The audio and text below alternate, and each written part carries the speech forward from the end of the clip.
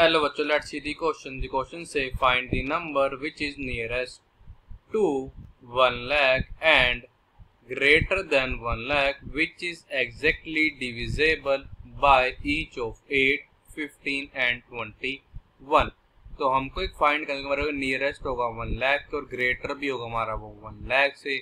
और जो होगा एग्जैक्टली डिविजेबल किस होगा? एट से भी फिफ्टीन से भी और ट्वेंटी वन से भी। Firstly I will tell you की कॉन्सेप्ट और एक की कॉन्सेप्ट आपकी हेल्प करेगा इस क्वेश्चन को सॉल्व करने में।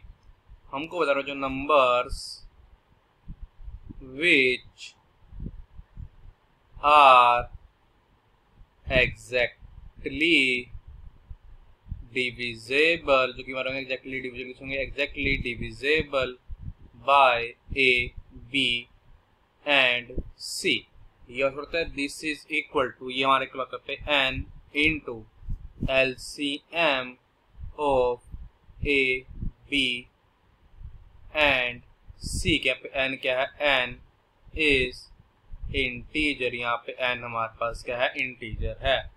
अब हम क्या करेंगे? इसकी कॉन्सेप्ट की हेल्प से अपने क्वेश्चन को सोल्व करेंगे। तो चलो हम फाइंड करते हैं। एलसीएम क्या आएगा? Eight fifteen and twenty one का।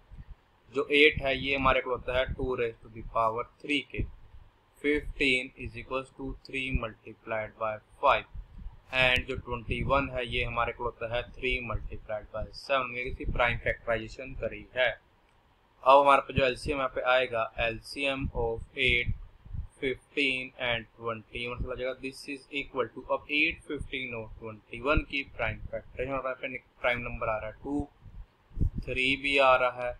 फाइव भी आ रहा है एंड सेवन भी आ रहा है। अब हमारे पास मैक्सिमम पावर टू कितनी आ रही है?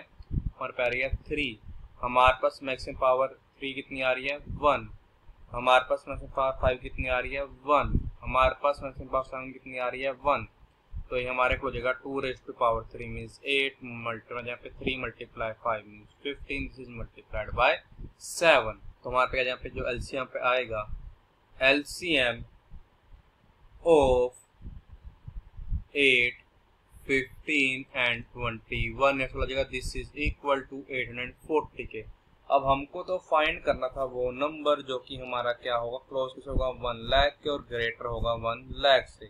और जो कि हमारा डिविजेबल किससे होगा? Eight fifteen and twenty one से एक ऐसा नंबर फाइंड जो हमारा होगा इंट्रिकल मल्टीपल होगा एट हंड्रेड फोर्टी का। और हमारा वन लैख से ग्रेटर होगा, उसके नियर भी होगा। तो देखो, अगर हम पे कर रहे हैं एट हंड्रेड फोर्टी को, अगर आप अगर मल्टीप्लाई किससे कर दे हम हंड्रेड ट्वेंटी से तो हमारे पास आ जाएगा दिस इज़ इक्वल्स टू हमारे पास यहाँ पे आ जाएगी वन लैख एट हंड्रेड अब हम करते हैं कि इससे लेस नंबर से मल्टीप्लाई यहाँ पे कि eight hundred forty this is multiplied by hundred and nineteen तो ये हमारा इक्वल होगा this is equal to ninety nine thousand nine hundred and sixty के इसका मतलब है कि जो हमारा नंबर है, ये वन लैख से ग्रेटर भी उसके क्लोज जो कि हमारा क्या है required answer the final answer is one lakh eight hundred I hope you understood it well all the best thank you